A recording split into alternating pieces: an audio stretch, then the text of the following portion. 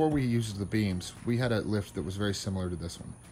We had one motor that lifted from four points using slings to go over a V-hull, a bay boat style boat such as this one. Then we converted to the catamaran, which required us to uh, rework the way that the lift uh, uh, hoisted the boat so that it came from beams, not from slings. For a quick overview of the entire system, we've got two motors that lift from two, four, four different points. So each motor lifts two points. Those two lifting points go down the rope here to the pulley, which turns into one rope. We've got a weight there. And then you've got your PVC pipe, which acts as a roller down to the beam itself. Another thimble, wire, rope clamps there, aluminum I-beam with a 2x10 uh, bolted to the top of it, and then rubber mat on top of that that the boat actually sits on.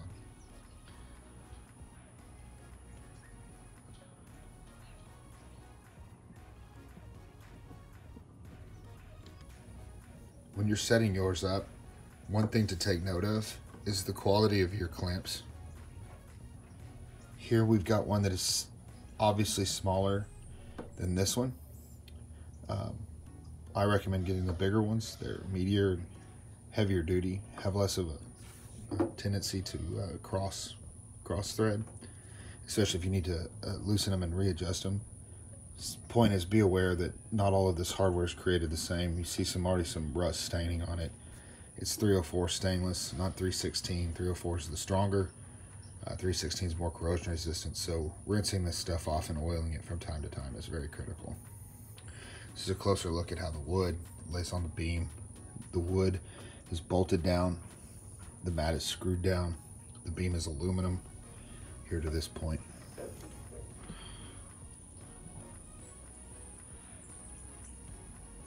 We use the weight, this lead weight here, to keep the uh, weight on the system when the beams are in the water. They have a little bit of a tendency to float since the wood is on there, so the weight keeps tension on the system itself.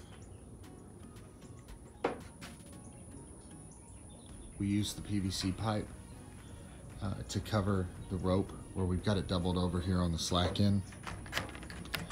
This is where the weight's at and this is slack. We've got that doubled over and this protects that from flapping around.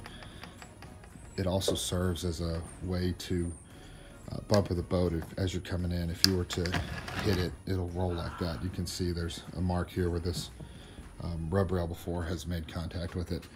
Um, so it allows you a little bit of margin of error as you're coming in to bump the plastic. We use horse stall mat. This type of mat's available at just about any kind of equine supply, feed store. We found this at a lo local fencing company in Galveston County. And this stuff is, is has got grooves on one side, which is somewhat unusual. And, and for your project, it may be worth seeking out this exact type of mat. The back side of it is flat with like a diamond plate pattern to it.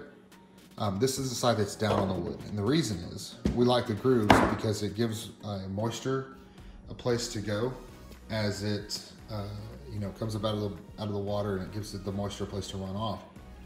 It also allows for when you're fastening it down, we used uh, just some Harbor Freight stainless steel screws. Seem to hold up pretty well in salt water actually. Use these that are about a half inch long and when you screw them into the groove here, that head will go down in between the grooves and uh, prevents the uh, screw from ever coming in contact with the boat, which, uh, you know, another reason for the grooves is the water runs out and it keeps moisture from staying in contact with the boat, which we all know can cause gel coat to blister. Uh, we found this stuff relatively easy to cut. We used a regular old uh, utility knife and we'd run it in the grooves here, give it a cut. Two, three strokes was usually about all we needed. Just cut, cut, cut. Stuff cuts pretty easily. Uh, it's good use. It's very heavy. Uh, it helps the, the whole entire system. So we highly recommend using horse stall mat for your project.